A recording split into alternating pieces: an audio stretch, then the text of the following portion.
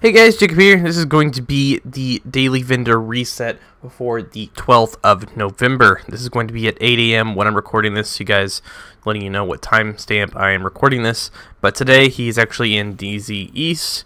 You guys will see in the bottom right corner there, Thieves Den up vendor available. So he's actually not in West today, he's in East. But today he is selling the Firm Handshake Sokolov Concern Gloves with Perfectly Wicked. If you're not familiar what Perfectly Wicked is, it's when you apply a status effect, gain 20% damage for 20 seconds. This does require 4 or more reds.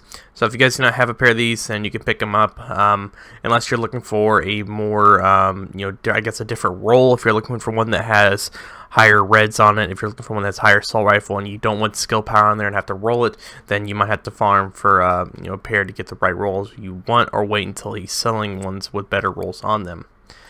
Next is going to be this ongoing directive mask with 19% damage to elites with 20% skill haste.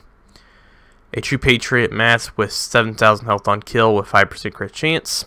Hardwired knee pads with 282 skill power. Negotiator's Dilemma mask with 18,000 health and 232 skill power. Tip of the Spear holster, 25% skill haste and 7% crit damage. Aces and Eights gloves with marksman rifle damage and rifle damage. MP7 with strained and stable. If you're looking for an MP7, um, then this isn't a bad one. Already has strained on it and stable. Uh, but I know most people are most likely going to be using the Vector or the MPX instead. Next, M1A CQB with eyeless, distance, and recharged a TacSac Mark II Petrov Defense backpack with crit damage, crit chance, health, and skill haste. Um, this backpack isn't bad. It's got a few rolls on it you can actually manage to use, but you could probably find something better if you farm enough. Next is going to be this Airaldi Holdings holster with 16,000 health on kill. So if you're looking for health on kill, then you could roll this onto something and have a double blue like on a uh, Gila holster if you're trying to get double blues. Defense Mending mod with 3,000 armor, 2.5% total armor, and 2.5% health.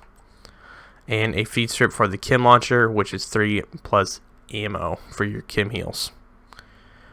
Well, that's going to be about it, guys, for today's reset.